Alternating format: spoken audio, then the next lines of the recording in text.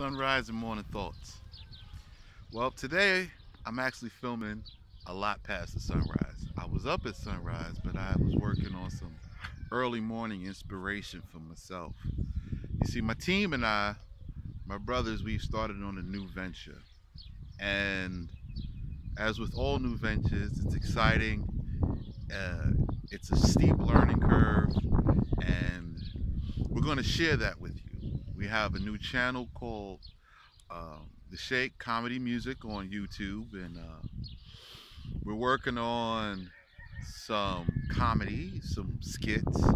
We're working on some music. I'm doing some musical sketches and showcasing a lot of the different talent that goes kind of unnoticed or unrecognized or just different things that I find.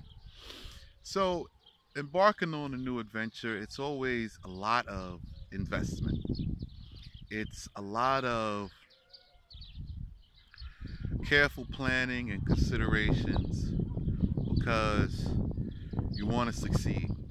You want to do well. And with anything that you want to succeed at and do well at, it takes work. It takes time. We're not expecting overnight success. This is self-investment and also a cooperative. You know, we're accepting others who want to come in and work on this project and share with this project and collab with us.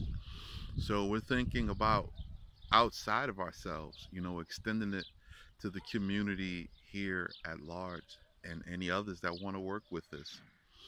So that's my sunrise and morning thought, you know, and I want this to uh, encourage you to invest in yourself. Always learn something, always go on self-improvement. You know, for me, there's more learning behind the scenes about technicalities and stuff like that to support the venture, you know, you know, learning the the techniques and the skills that make something good versus something that's just junk. So we're putting in the hard work and the effort.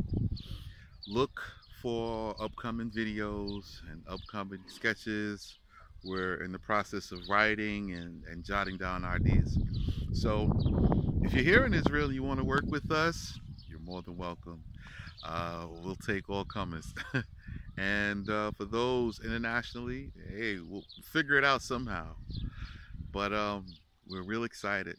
And I have to say thank you all for tuning in and um, enjoy watching us on this journey. We're going to be posting a lot of the behind the scenes and a lot of the process of what goes into um, our becoming and our building this.